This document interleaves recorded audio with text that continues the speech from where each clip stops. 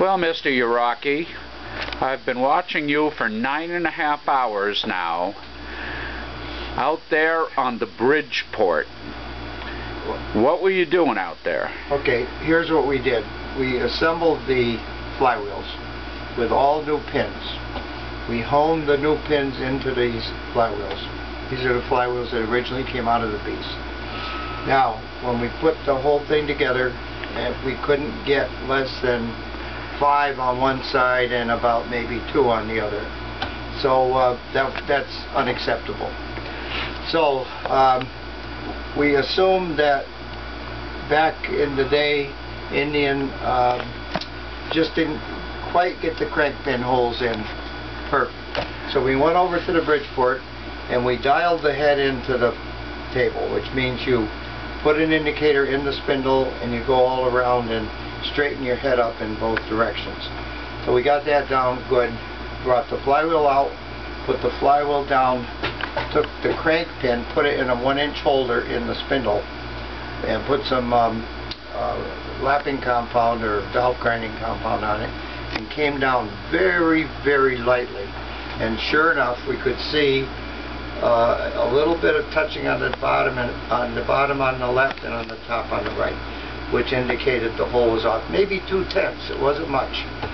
So we did that on both of them. We've reassembled now, and we are within one thousandth of an inch total indicator runout on both sides.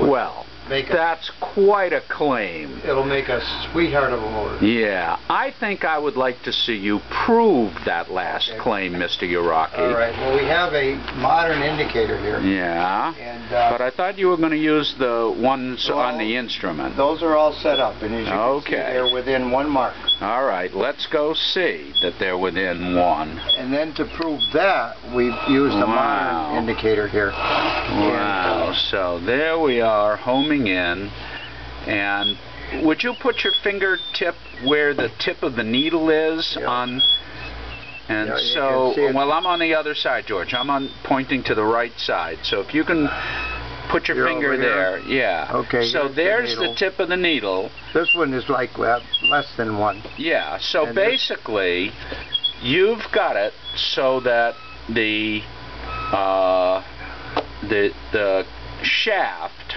the pinion shaft, actually, right? Pinion and drive right. are, are in line within one thousandth of Right.